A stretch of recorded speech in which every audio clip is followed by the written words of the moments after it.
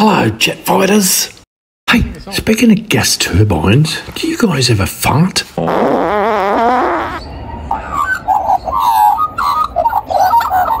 Oh, bullshit. I've seen some of the crap you guys eat, especially on bloody bin night.